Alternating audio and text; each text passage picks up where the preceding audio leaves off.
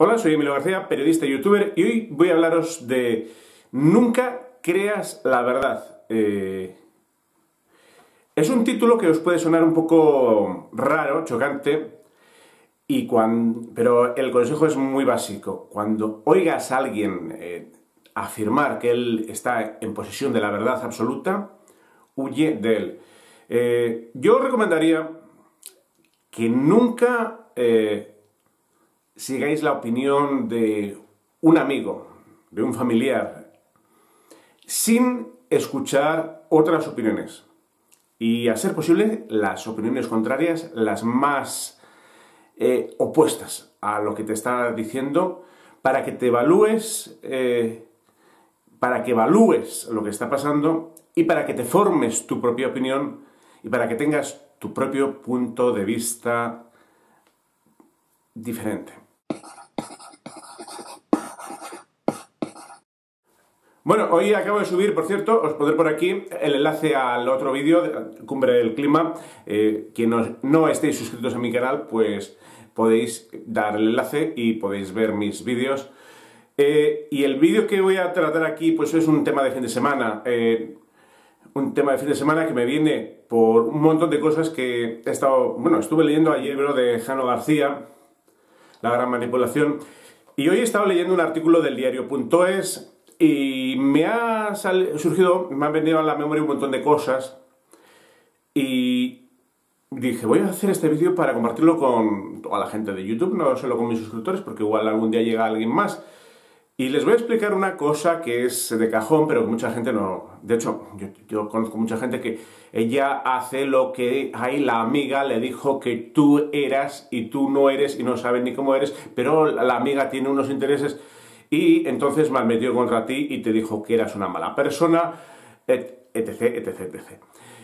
Cuando oigamos en los medios de comunicación, por cierto, el artículo del diario.es desmentía pues estas, los canales de YouTube que hablaban de, de, estas cosas que han pasado el último año y de los vídeos que fomentaban el, el negacionismo, no sé cuántas cosas decía, y criticaba criticaba, vamos. Bueno, de, hecho, algunos de los vídeos que criticaba han sido censurados porque aparecen incluso el enlace en el propio artículo. Y luego me he fijado que el artículo está escrito en mayo de 2020.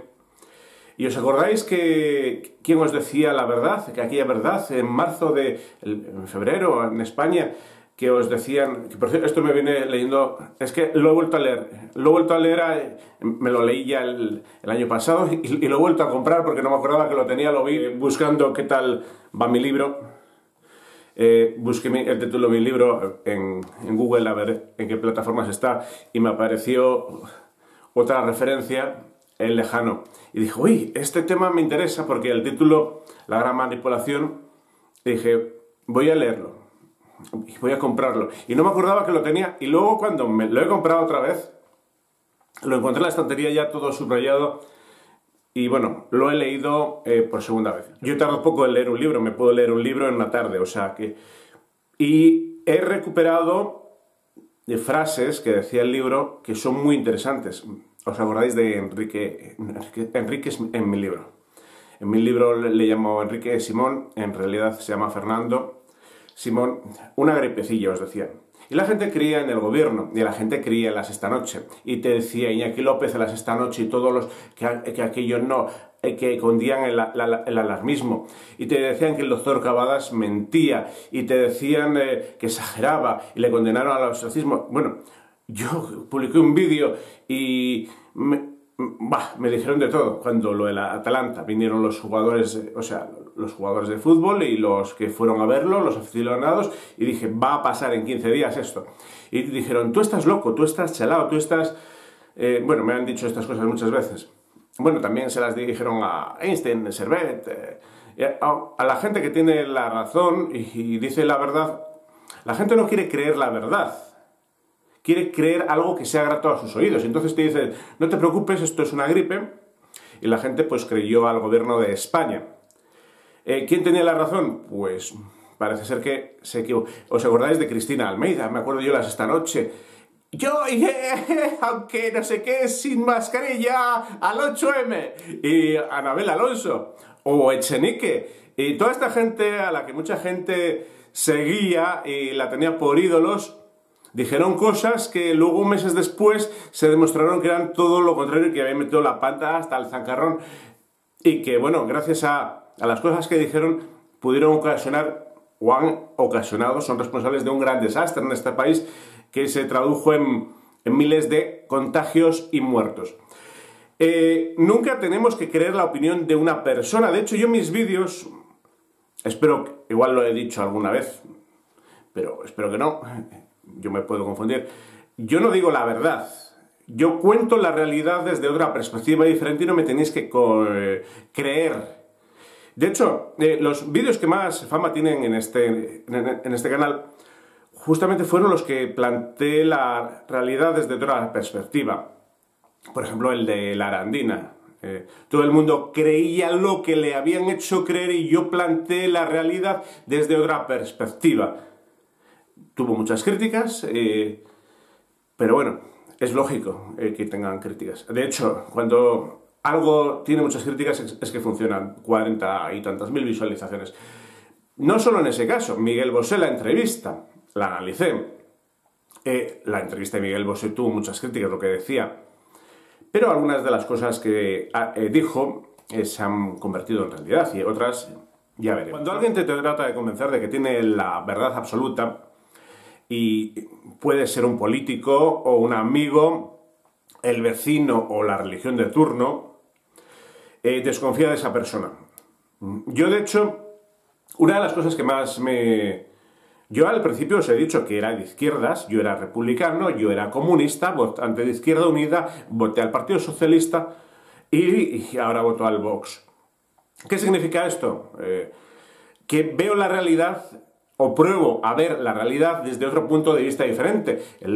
hace unos años, en una cena de amigos, un reencuentro de estos de 25 años después, eh, vi cómo la gente pues seguía, ah, pues esto, yo soy del PSOE, PSOE, PSOE y tú eh, eres malo por cambiarte de... Y luego había otro que era de Vox.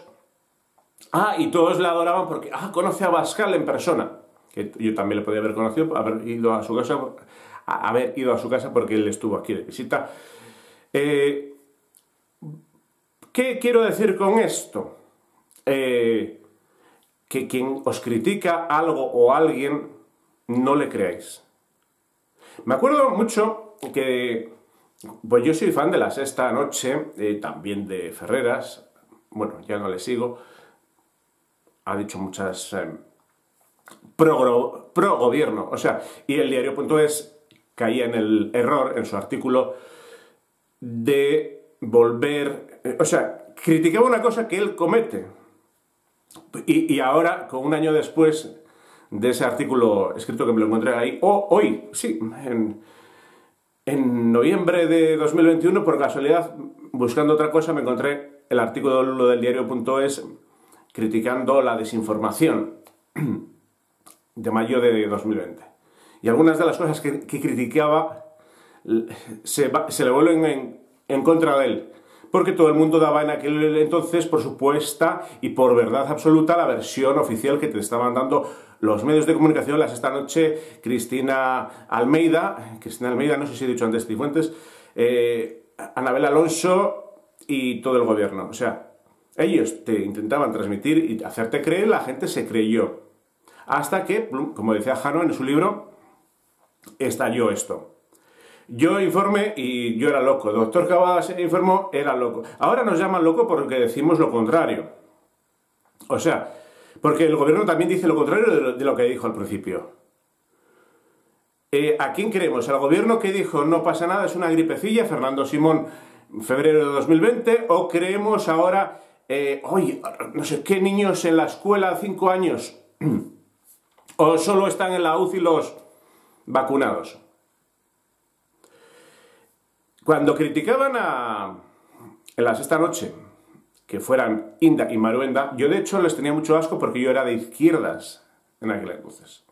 O sea, a mí me, causaba repulsa este par de personajes, pero En todos los foros, que yo estaba en un montón de grupos de Facebook, cuando la gente criticaba que por qué invitan a... ¿Por qué? O sea, que querían censurar a estos personajes, decía yo, dije, lo bueno de un programa de televisión o de un medio de comunicación es que tenga, albergue dos posturas diferentes, dos puntos de vista, porque si os dais cuenta que esto es un vídeo que hice eh, en el otro canal, me parece, sobre Facebook, Facebook os lleva solo a, leer las opiniones con las que estáis de acuerdo y los grupos con los que estáis de acuerdo. Y si tú eres de izquierdas, te van a montar un montón de eh, grupos de izquierdas, Unidas Podemos. Y si tú eres de derechas, que yo tengo dos perfiles y, bueno, he tenido más, me han borrado y tal, eh, por decir cosas que no le borrarían a nadie, pero bueno, diferentes varas de medir. Eh, te encamina Facebook a lo que quieres oír, ver y demás. Y yo en el perfil de izquierdas, que hacía un montón que no, no entraba, pues todos los grupos que Podemos, no sé qué, Izquierda Unida, y criticando a lo extrema derecha. Y ahora que estoy en el de, pues me encamina a. ¿Qué quiero decir con esto? No dejéis que os encaminen a. Haced como yo. Yo nunca os digo, digo, creed lo que digo yo, porque yo yo os digo cosas, pero yo no tengo la verdad absoluta. Yo os cuento la realidad desde un punto de vista diferente, os intento mostrar un punto de vista diferente, una perspectiva. Crea yo en ella o no. Porque yo a veces que creo lo que digo y otras veces hago un ejercicio de distanciamiento intentando nos distanciar a todos de algo que damos por supuesto. Eh, hice un vídeo de Jimeno eh, para que veáis las cosas desde otro punto de vista porque el periodismo, en la actualidad, por cierto, esto vino, viene a pelo mucho esta semana que había un, una noticia de un gallego, no sé si era Manel, no sé cuánto, que estuvo 35 años en la UCI, en coma. O sea, que estuvo en coma, 35 años, y lo publicaron todos los medios, todos los medios de comunicación de España entero, ya, todos los periodistas. Esto va en contra del periodismo. ¿Qué quiere decir? Que la gente ya periodista no comprueba. El diario.es publica pues las cosas que le dice el gobierno y Ferreras repite como loro y las esta noche y Iñaki López y ahora el, sustituto repiten y si te dice el gobierno no pasa nada, la gente cree, ah, no pasa nada, pero luego de un día, dos días después pasa algo muy grave. Ah, y sin embargo la gente le ve a la Cristina esta, después de decir lo que dijo, o la Navela, ¿no? o el Echenique, y la gente todavía sigue creyendo en estos personajes que le mintieron a la cara, que hay, hay que dices que dijo, esta persona que ha dicho esto tiene que estar encerrado de por vida. no solo por desinformación, que por cierto, critican, el artículo del diario.es criticaba desinformación, fake news, etc. Cuando ellos desinforman, porque solo ponen la realidad del gobierno y no afrontan eh, con un punto de vista diferente. Indemaro en ciertos aspectos dan, no están en todo el programa, pero solo hay varias mesas de debate y en una mesa de debate salen, yo ahora estoy con ellos, antes estaba en contra de ellos. ¿Qué quiere decir esto? Eh, que hay que ver las cosas desde diferentes perspectivas, desde puntos de vista diferentes y hacer cada uno, tendríamos que elaborar nuestro propio compendio y nuestro, o sea, crear nuestra opinión no porque mi amiga dice que este... No, voy a comprobarlo yo, como no comprobaron los periodistas llamando al hospital a ver si era este hombre había estado 35 años en coma. Que esto se desmintió ayer, por ejemplo, en, en Cero Radio creo que lo comentaron el jueves y ayer en todos los medios. Pero los periodistas, pagados como mal pagados, pues para dar la noticia rápido, les habían retuiteado todos y habían publicado una cosa sin comprobarla, que ocurre mucho. Luego te acusan de desinformación a ti porque dices una realidad. Eh, cavadas, lo que dijo en el hormiguero, Miguel Bosé, anda que nos han sido puestos a parir, y un montón de personas, eh, médicos y científicos, están siendo puestos a parir. ¿Por qué? Porque dan otra opinión diferente a la que queremos creer. Porque claro, si a mí me dice alguien, todo va a ir bien, y otro me dice, todo va a ir mal, aunque el que diga todo va a ir mal tenga la razón, yo quiero creer que va a ir todo bien. Entonces la gente tiende a creer y hay veces que creemos mentiras, conscientemente o porque queremos creerlas. Y entonces quien nos dice la verdad eh, es malo. yo soy malo para muchas personas porque he dicho la verdad. Claro, si dices cosas que resultan incómodas, caes mal. Pero yo prefiero caer mal y resultar incómodo y seguir diciendo la verdad, lo que pienso que es verdad. Y ya veis, acabo de cometer el error que decía que no me creyerais a mí. No me creáis a mí. Eh, vosotros escuchad. Este dice esto, el otro dice el otro y el otro punto de vista. Yo, de hecho, os he dicho más de una vez que veo dos telediarios. Intento ver dos grupos mediáticos diferentes. A veces veo otro o tercero. Leo periódicos de, de derechas y de izquierdas. Cuando el 11M, el 11S, las Torres Gemelas, lo de Madrid, Atocha, etc. Yo compré eh, y compré El Mundo y compré El País. ¿Por qué compro dos, un periódico de izquierdas y de derechas? Pues para ver cómo cada periódico da la noticia desde su punto de vista. Y la verdad, la verdad, la verdad está ahí y no la vamos a conocer. Yo te puedo comentar un aspecto de la verdad, pero nunca toda la verdad porque yo incluso la ignoro. Eh, ¿Qué quiero decir con esto? Eh, que el país te va a contar su verdad, es radio te va a contar su verdad, Jiménez Los Santos te cuenta su verdad y Herrera, eh, la Copel, su verdad. Todo esto lleva opinión. Las esta noche hay, pues no sé qué, esto es buenísimo. Y te sale el urgenciólogo, ¡oh! hay que creerle, porque es un urgenciólogo que no quiere decir que no tuviera razón en algo de lo que ha dicho, porque todo el mundo decimos la verdad alguna vez. Incluso tenemos razón en alguna de las cosas que decimos. Pero no siempre tenemos la razón ni siempre decimos la verdad. Y no es que estamos, estemos mintiendo, es que estamos imbuidos y las cosas... Eh, claro, la gente cree que es buena. La chica esta que me insultó a mí me, puso defenestrado por Facebook. Ella creía que tenía la razón y que hacía bien en atacarme.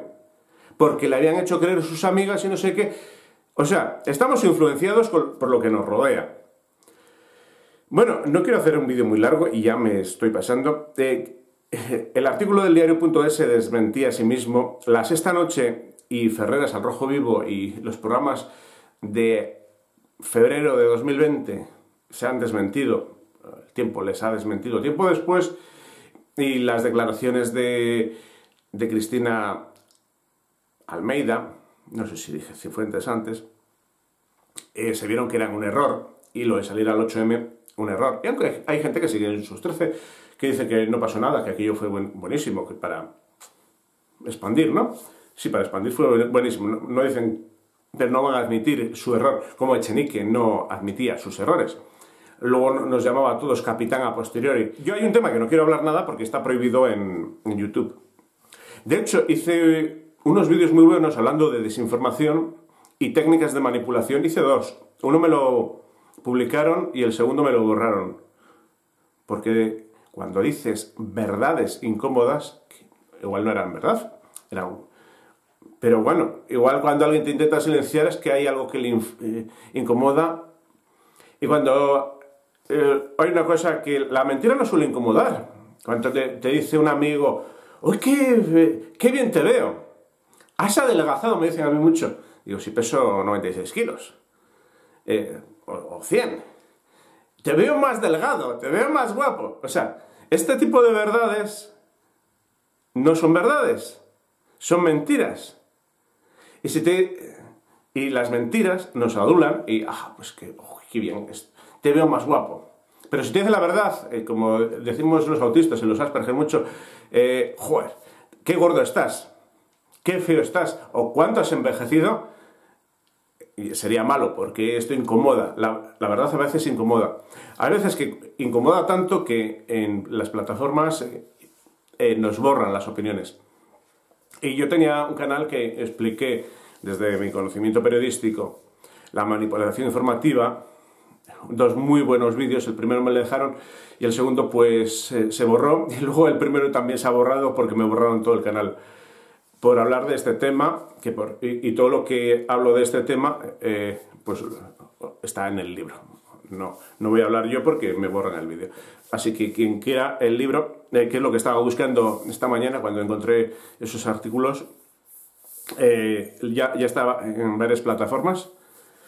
Y es una novela de ciencia ficción, pero tiene mucho de realidad. Y quién sabe si algunas verdades. Igual diciendo mentiras o inventándome historias, he dicho verdades grandes que espero que no resulten incómodas a nadie. Muy buenos días.